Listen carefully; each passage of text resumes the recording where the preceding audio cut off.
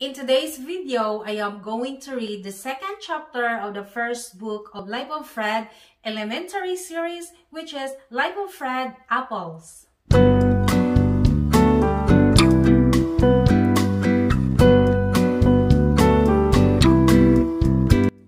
Hey guys, Alitha Bell here. Welcome to my another video here on our channel. And if you are new here, I am a homeschooling mom of two, ages 5 and 6. Without further ado, let's get started. Chapter 2 Closer to Sunrise Fred loved to play with his flashlight. When Fred shined his light on King E, he looked like this. When he didn't shine his light on King E, he looked like this. Fred put his seven pencils back into his desk drawer. He liked to keep his office neat. He would never leave pencils lying on the floor. Some of his students called him No Mess Fred. Time out! Did you notice that? I wrote some of his students. Fred has students. Please let me explain. Fact number one Fred is five years old. Fact number two he is not a student at Kittens University. Fact number three when Fred was very young, he read a lot of books. He especially liked to read books about math.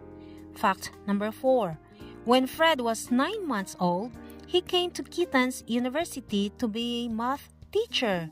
The whole story is told in Life of Fred Calculus. Kingie took the flashlight and shined it on Fred. When he turned off the flashlight, Fred looked like this. When Kingie pointed the flashlight straight at the wall, it made a circle.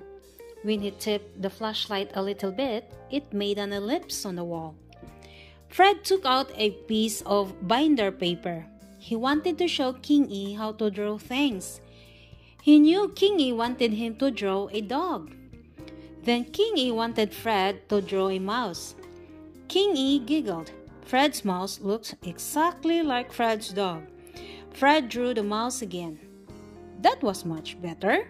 Fred showed King E how to draw all kinds of animals cat, bird, fish. They looked at the clock again. It was six o'clock. In one hour, it would be seven o'clock, and Fred could go jogging. Six plus one equals seven. He took all the drawings and put them in a desk drawer marked My Art. Other teachers had desks that were messy. When Fred finished with something, he put it away. King E thought about the six drawings that Fred had made and wished that he had a piece of paper to make a drawing. This would have been Kingie's drawing. Art by King E. Fred's doll could draw better than Fred could. And this is Art by Fred. Your turn to play! And this chapter has only three questions. And I hope you enjoyed the story. And if you haven't subscribed yet, please don't forget to subscribe and hit that notification bell so that every time I will put a new video, you will be notified. Thank you so much for being with me. I really appreciate if you will leave a comment down below or like to our posts so that the algorithm will push our video to more people or a wider audience and that will really help us a lot. And again, thank you so much for watching and see you next week for another Life of Fred story. Bye!